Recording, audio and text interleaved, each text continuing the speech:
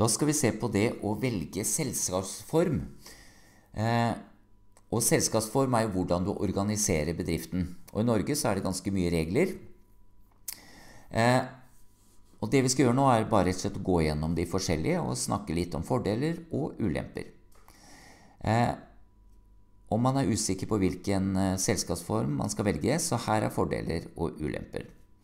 På generelt grunnlag er det umulig å se hvilken organisasjonsform som vil være mest hensiktsmessig for deg.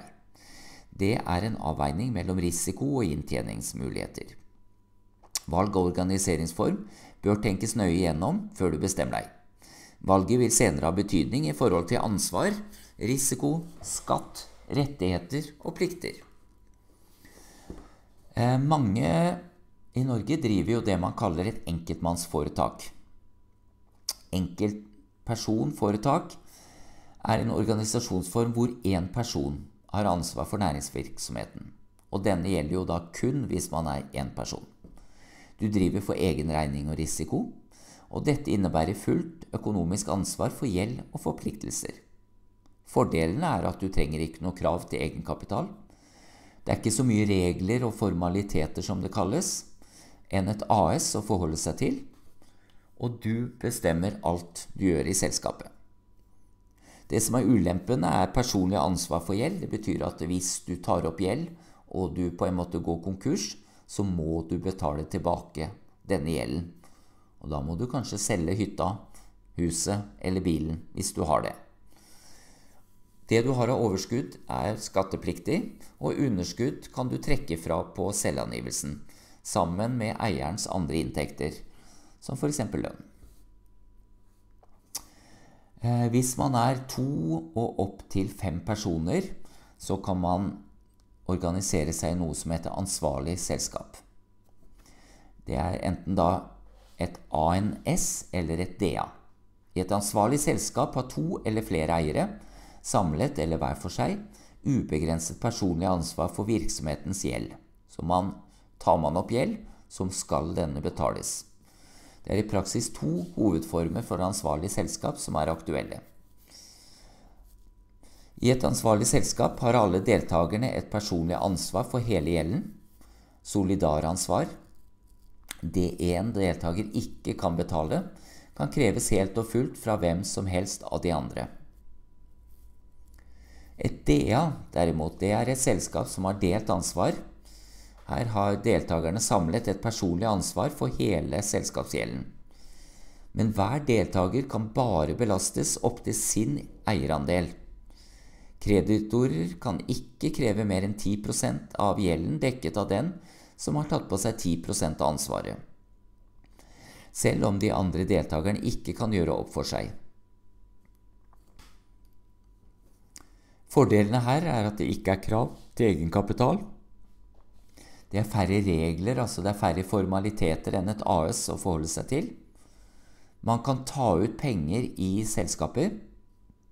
Man trenger ikke revisor før omsetningen overstiger 5 millioner eller det er fem eller flere deltakere. Vær oppmerksomhet på at det finnes unntak. Altså at det, du kan være flere enn eh, fem personer i et ansvarlig selskap, men da må du organisere det gjennom at du også har revisor. Så når du overstiger fem personer, så må du ha revisor. Men det kan jo i mange tilfeller være en fordel. Eh, ulempene er personlig ansvar for gjeld, så det betyr at gjeld må tilbakebetales. Overskuddet skal beskattes med 28% Eventuell arbeidsgodtgjørelse vil redusere overskuddsberegningen. Eh, det kan være tungvint det å få inn ny kapital, og eventuelt hvis du skal få inn nye eiere. Eh, det siste vi skal se på, er jo det som skjer nede på børsen, og det er aksjer og det å organisere seg som et aksjeselskap. Det er jo ofte gjort på større selskaper at de organiserer seg som aksjeselskap. Det kalles ofte et AS. Eh, I et aksjeselskap har ikke du og de andre eierne personlig ansvar for selskapets forpliktelser. Dere har kun ansvar for egenkapitalen dere har plassert i selskapet. Derfor kan dette være en smart valg for alle som skal drive med en ris viss risiko. Så at hvis du vet at her er det en risiko, man tar en risiko for å prøve å få til noe, så kan et AS være en smart måte å organisere det på. Så fordelene er som sagt lav risiko. Du har ikke personlig gjeld. Så det betyr at det som er gjeld i selskapet, det må tas ut av selskapet og ikke av eierne. Det er ingen utbytteskatt før man velger å ta ut pengene fra selskapet. Det er kun selskapsskatt av overskudd.